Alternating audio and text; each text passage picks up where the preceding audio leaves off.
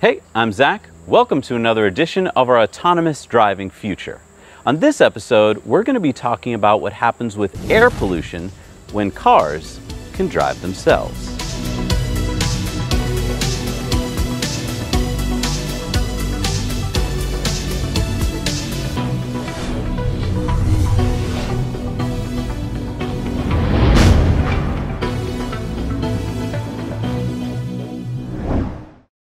Pollution to our environment is one of those concepts that we humans tend to have a lot of trouble quantifying. If the sky is sunny and blue in your little corner of the world, then everything is hunky-dory. Nothing to worry about, right? I mean, this internal combustion engine car has a tailpipe that emits some pretty smelly stuff. But the government has strict regulations, and all that stuff gets swept up into the big clear blue sky, so it's not really a problem anymore. Right? Well, not exactly.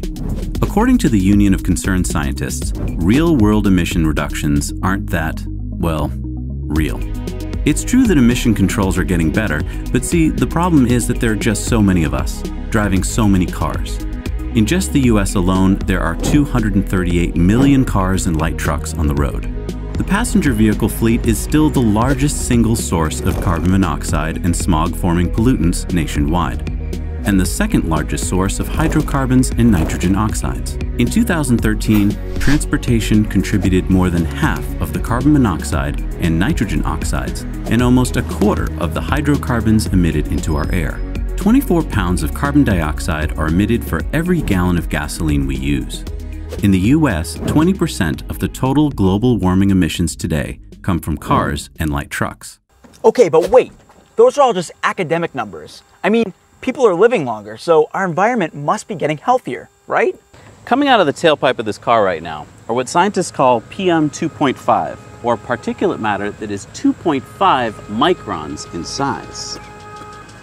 To give you some idea, a human hair is about 50 to 70 microns in diameter. These tiny particles are so small you can only see them with an electron microscope, and your lungs can't filter them out. They literally get stuck in your lungs. Once fine particles are in the lungs, they can affect the lungs, heart, and blood vessels. The effects of this small particle pollution are well documented, and according to the World Health Organization include respiratory and cardiovascular morbidity, that's death, such as aggravation of asthma, respiratory symptoms, and an increase in hospital admissions. Mortality, that's death, from cardiovascular and respiratory diseases, and from lung cancer. There is no evidence of a safe level of exposure or a threshold below which no adverse health effects occur. So, this little patch of dirty filter paper is icky, right? But what does it mean? I mean, how much of this particulate matter is coming out of tailpipes? Surprisingly, this information is hard to come by. So, we did a little digging.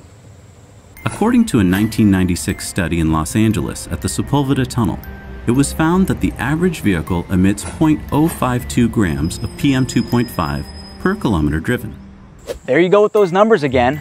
What does that even mean? Yeah, I know, right? What does it mean? Well, let's do some math. We know that Americans drive about 4.82 trillion kilometers every year. So that means that in 1996, 251 million kilograms of PM2.5 particles were emitted into the air in the US. Okay, but aren't cars cleaner now? Yeah, good point. So let's say for the sake of argument that cars now emit half as much as they did 20 years ago. So that would be 125 million kilograms of PM 2.5 emitted into the air every year, or 0.385 kilograms for every man, woman, and child in the US. And that's just the PM 2.5 particles. Here's the PM 10 particles.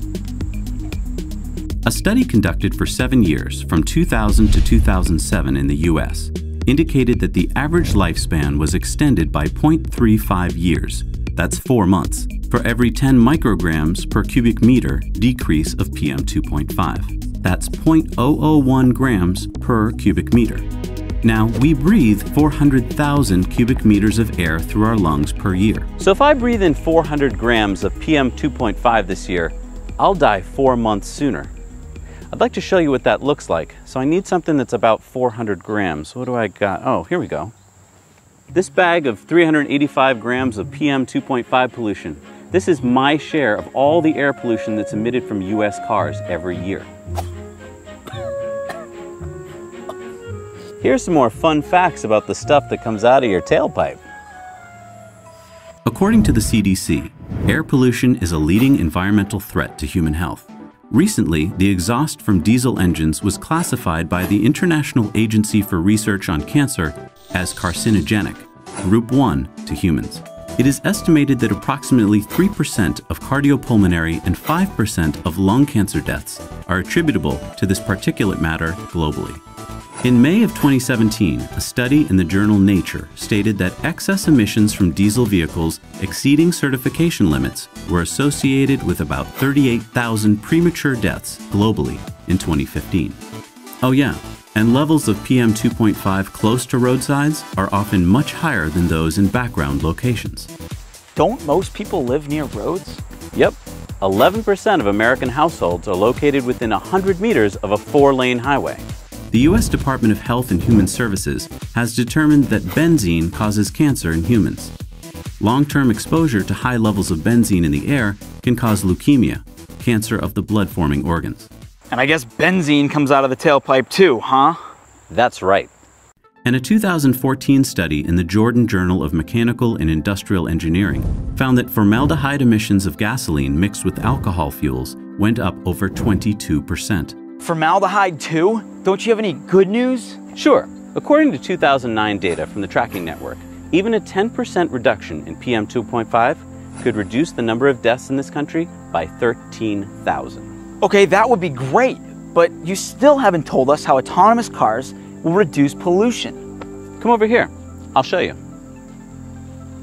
You see, self driving cars are going to be electric with zero tailpipe emissions and the energy that EVs use in the not too distant future will be entirely from clean, renewable sources like wind and solar. That means zero tailpipe emissions and zero power plant pollution. The quicker we get to our autonomous driving future, the sooner we all get to live on a healthier planet. Now you know.